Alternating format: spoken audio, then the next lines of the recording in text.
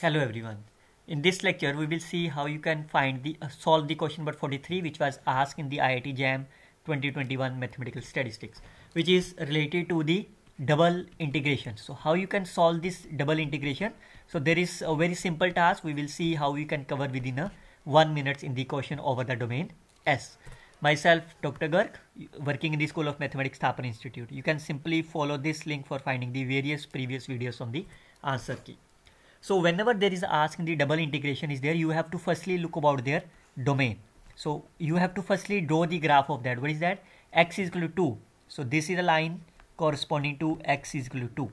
And it's x is greater than, so we have this portion.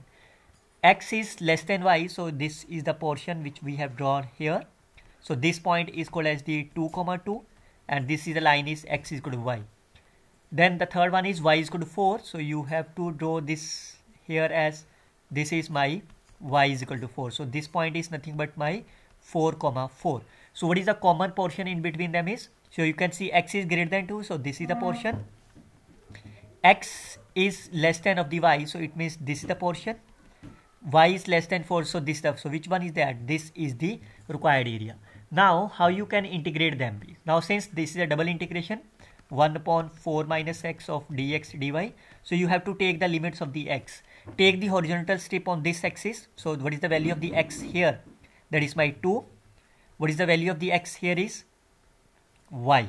And what is the minimum and maximum value of this in this y is my 2 maximum value at here is 4 but if you think about that if you integrate this this is nothing but my log of 4 minus x upon minus. That's a very that's a very difficult calculation for you.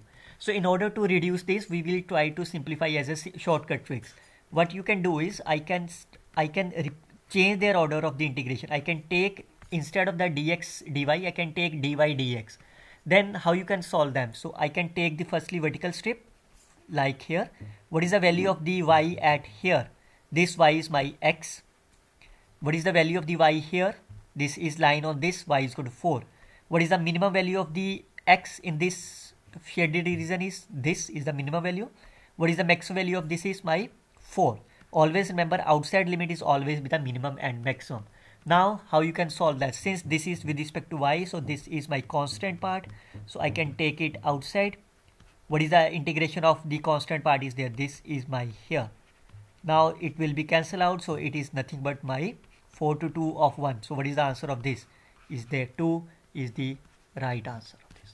So since if you solve like this way then what will happen you can see there is a, a lot of the calculations are there. So what will happen?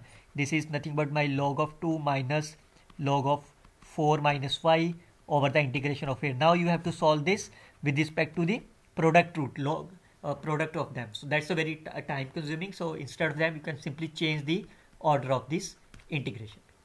I hope you can simply learn this one. We will see some more videos on this mathematical study in our next class. Till then you can simply follow this here. Best of luck